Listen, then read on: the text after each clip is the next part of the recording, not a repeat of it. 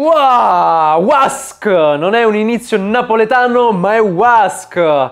Cioè il format di WhatsApp Economy dove voi mi fate delle domande e io cerco di rispondere. Domande economiche e non. Infatti questa volta approfondiamo un po' di domande universitarie e me ne avete fatte alcune interessanti. Quindi iniziamo. Le domande potete farmele su Instagram nei box dedicati. Mi raccomando, seguitemi su Instagram. Allora, Marco ci chiede magistrale in finance o data analysis? Allora, sono ovviamente due professioni e due specializzazioni molto interessanti. Se sei un grande appassionato e ti interessa veramente tanto il mondo finanziario, ovviamente la scelta è il finance. Ma se io fossi in te, forse preferirei più il data analysis, oltre perché mi affascina come materia in generale Credo inoltre sia anche più sfruttabile a livello lavorativo perché con il data analysis potresti lavorare sia in ambito finanziario ma anche in tante altre professioni. Quindi se ancora non hai trovato la tua strada oppure vorresti avere più d'utilità nel mondo del lavoro, beh, data analysis credo che sia la scelta migliore. Però ovviamente guarda dentro te stesso e vedi che troverai la risposta. Daniele, tutti i laureati in economia hanno un'ottima educazione finanziaria? Questa è una domanda molto interessante e c'è una risposta ben precisa, e cioè no! Perché in economia, comunque nelle università economiche, difficilmente anche lì si fa educazione finanziaria. Quando si trattano temi finanziari si parla in maniera molto generale, soprattutto di matematica finanziaria o ancora più spesso di uh, finanza aziendale. E quindi si va a vedere la teoria del CAPM, uh, i flussi finanziari, i flussi di cassa, le valutazioni, eccetera, eccetera, però da un punto di vista estremamente finanziario. E quindi non si va mai a esplorare eh, tutto l'ambiente intorno di educazione finanziaria finanziaria personale. Ad esempio, io anche una volta uscito dall'università avevo in mente tutta una serie di concetti finanziari, ma poi in realtà riguardo l'educazione finanziaria non ero fortissimo e poi pian piano in realtà mi sono appassionato alla materia, anche a questa materia, oltre all'economia in generale. Quindi in realtà se il vostro obiettivo è entrare in università per capire meglio come investire i vostri soldi, potreste non trovare la vostra risposta perché appunto hanno un approccio molto più accademico e soprattutto molto incentrato sulla finanza aziendale e quindi sono informazioni ovviamente molto utili e che mi sono servite per aumentare la mia educazione finanziaria, ma che bisogna un attimo interpretare e inoltre capire qual è il senso dietro a quei concetti che vengono applicati in ambito aziendale, ma che possono essere applicati anche sulla finanza personale.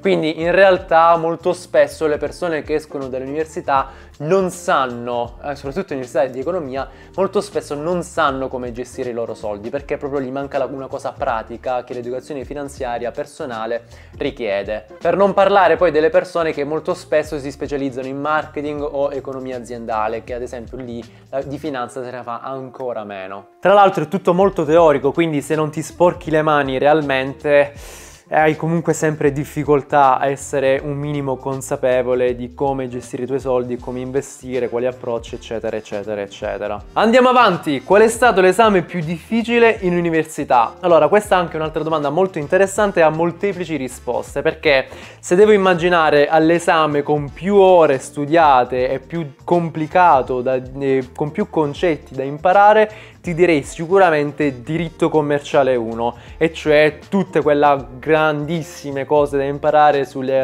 aziende, come funzionano eh, le imprese a livello giuridico, SRL, eh, SPA, insomma tutta una grande eh, cosa super complicata, ma anche allo stesso tempo molto interessante, però essendo una cosa abbastanza giuridica entri molto nel dettaglio, molto schematico, devi fare un sacco di distinzioni tra i diversi casi casi, insomma c'è da lavorare sicuramente ed è probabilmente l'esame su cui ho speso molte più ore anche perché avevo un, un professore molto esigente, però poi alla fine è andato bene. Dall'altra parte però potrei raccontarvi di alcuni esami che magari non erano così complessi come ad esempio diritto commerciale, ma che non mi piacevano particolarmente, per questo boh, li, li, li ritenevo abbastanza difficili, perché se una cosa è difficile ma mi piace riesco a farla anche abbastanza facilmente, ma se non mi piace, non mi attira, non mi entusiasma, ho molte difficoltà, ho avuto molte difficoltà a preparare quell'esame. Ad esempio, tra questi, quello di risorse umane è stato uno degli esami più difficili da preparare, non perché sia complicato, ma perché non mi piaceva, non mi ha mai scaturito una grande attenzione, era interessante ma era allo stesso tempo anche molto eh, schematico, con un sacco di punti da imparare a memoria, eccetera, eccetera, e quelle robe lì proprio non mi entravano in testa, quindi ad esempio quello è una cosa su cui ho avuto molte difficoltà a preparare e magari l'ho rimandato diverse volte prima di darlo effettivamente. Federico, università meglio in Italia o negli Stati Uniti? Questa è un'altra grande domanda. Allora, a mio modo di vedere preferirei gli Stati Uniti, anche se poi alla fine non l'ho fatto, quindi vedete un po' voi, ecco. Però secondo me, senza nulla togliere alla formazione delle università italiane, secondo me l'opportunità che ti danno gli Stati Uniti, sia a livello universitario ma soprattutto a livello lavorativo, probabilmente in Italia non la troveresti mai, anche perché potresti avere anche fin dall'inizio un profilo internazionale, quindi volendo potresti tornare sia in Europa ma anche in Italia studiando negli Stati Uniti, mentre ad esempio studiando in Italia e poi andando a lavorare negli Stati Uniti potrebbe essere molto più difficile rispetto alla situazione contraria. E poi vuoi mettere gli spring break, i party e tutte le cose americane super strafighe? E dai, l'Italia non ce l'ha queste cose. Tralasciate queste cose un po' più futili, a mio modo di vedere le possibilità che ti danno gli Stati Uniti sono maggiori rispetto a quelle italiane. E poi male che vada puoi sempre tornare in Italia. Ovviamente devi scendere un po' a compromessi perché comunque lasci il tuo paese d'origine che nonostante molte volte diciamo sia una merda, comunque il nostro paese d'origine, abbiamo le nostre tradizioni eccetera eccetera, aspetti su cui alcuni danno peso e altri meno e inoltre comunque devi trovare un modo per entrare nelle università americane.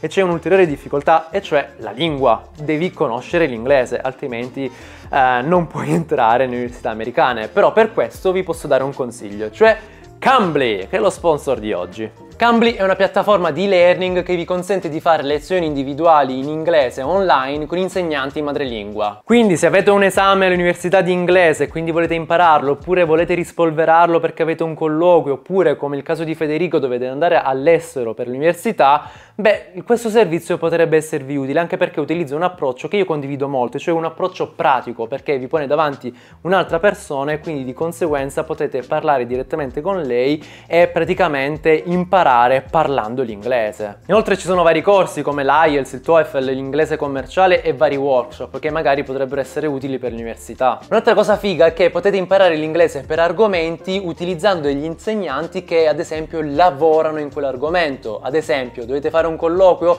potete parlare con un businessman in inglese oppure ancora dovete entrare in un ospedale americano, potrete parlare ad esempio con un'infermiera americana e così via. Quindi sono delle cose molto interessanti e specifiche che magari potrebbero interessarvi e potrebbero essere molto utili alla vostra professione perché magari imparate quelle skill particolari che da altre parti non potreste imparare. Ovviamente ho fatto anche io qualche chiacchierata con un insegnante di Cambly e indovinate che insegnante ho scelto? Scrivetemelo nei commenti. In tutto ciò i prezzi sono di base competitivi e in più c'è il codice sconto WeCambly se volete usufruire del 50% di sconto sull'abbonamento annuale e ottenere anche 10 minuti di prova gratuita che io utilizzerei. Di nuovo, sono cose gratuite che a noi piacciono e insomma è un peccato non usufruirne. Quindi se ti serve rispolverare l'inglese o migliorarlo, Cambly potrebbe fare al caso tuo. Andiamo avanti! Anto, dottorato, sì o no? Allora, personalmente no, ma perché non sono interessato ad un'eventuale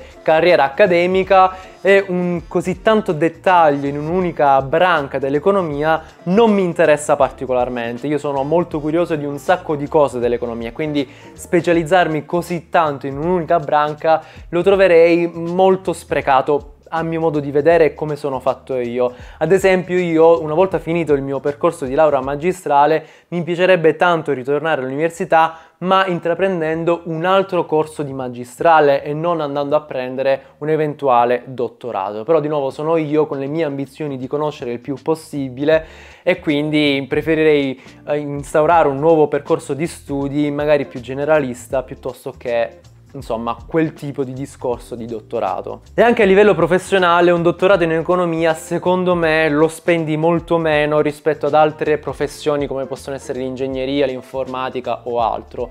Questo perché comunque molto spesso rimani nell'ambito accademico e universitario quando si tratta di economia. Certo, poi puoi fare delle consulenze esterne, però insomma secondo me è molto meglio se vuoi avere una carriera lavorativa in azienda finire la magistrale e buttarti praticamente al lavoro cercando di fare carriera. Ultima domanda da parte di William. Un master in international business apre buone opportunità di lavoro? ora forse l'ho detto già altre volte non so che cos'è il master in international business ma il punto fondamentale su cui io voglio sbattere spesso la testa è che non conta assolutamente nulla la materia in cui ti specializzi, conta solo quello che sai fare, quanto sei capace e quanto sai uh, valorizzarti nel mondo del lavoro. Questo lo dico perché ho visto innumerevoli, ad esempio, ingegneri che una volta usciti dall'università hanno fatto i PM, che sarebbe il project manager, che sarebbe un ruolo ovviamente